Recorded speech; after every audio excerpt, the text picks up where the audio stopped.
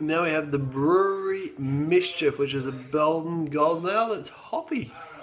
Uh, it's eight and a half percent. Should be good. I didn't try this at the brewery the other day. Pours are slightly hazy gold colour. The first couple of pours weren't hazy. On the nose, um, a little bit spicy, a little bit of hops, sort of like a grapefruit hop, and lemony for some reason.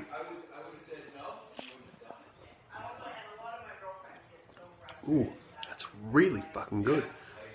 Mean to say that.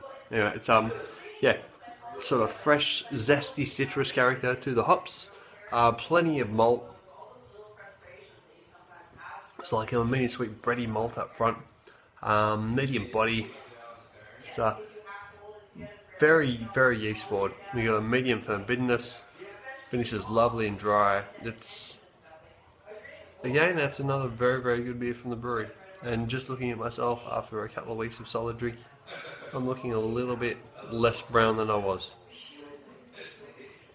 Anyway, I'll be in Mexico in a few days. I can get back in the ocean.